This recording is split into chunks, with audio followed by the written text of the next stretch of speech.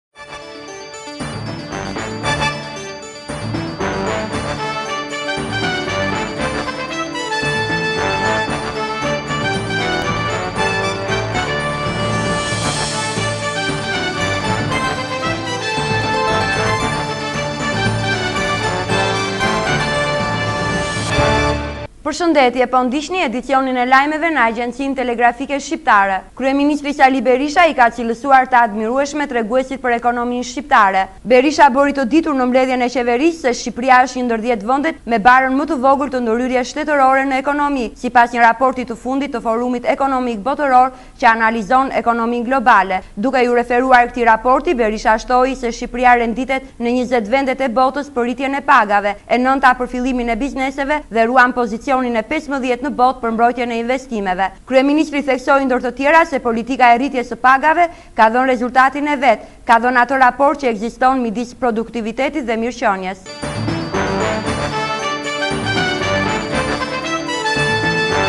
Jonathan Stonestreet, kryetari i Misionit të Vëzhguesve të ODIHR-it për zgjedhjet vendore të tetë majit në Shqipëri, u kërkoi të mërkurën partive politike që të nisin sa më parë punën për reformën zgjedhore, në mënyrë që zgjedhjet të bëhen vërtet për popullin. Në ditën e fundit të qëndrimit në Tiranë, Stonestreet tha për mediat se raporti i ODIHR-it për zgjedhjet e tetë majit është një platformë e mirë për këtë proces dhe që është pranuar nga palët. Stonestreet përsëriti gatishmërinë e ODIHR-it në dhënien e asistencës në përmbushjen e pesëdhjetë e dy rekomandimeve të dala nga zgjedhjet e dy mijë e nëntës dhe nga ato lokale të tetë majit.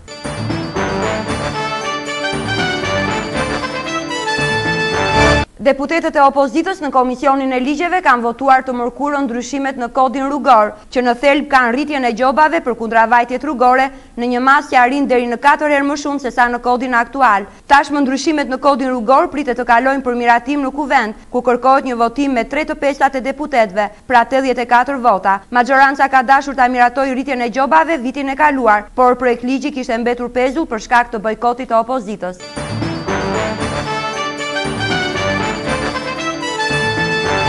Brenda vitit të ardhshëm, Porti i Sarandës pritet të ketë kalatën e re të ankorimit të trageteve, ndërtimi i së cilës financohet nga Banka Botërore dhe qeveria shqiptare. Kalata parashikohet të jetë nga më modernet në Mesdhe dhe me ndërtimin e saj synohet rritja e kapaciteteve turistike në Sarandë. Projekti me vlerë katër pikë shtatë milionë dollarë do të zbatohet nga kompania greke Ionios, fituese e tenderit. Zëvendësministri i Punëve Publike dhe Transportit, Ernest Noka, bëri të ditur të mërkurën, se firma greke do të nisë zbatimin e projektit javën e ardhshme, për ta përfunduar atë brenda dymbëdhjetë muajve sipas afatit të përcaktuar në kontratë.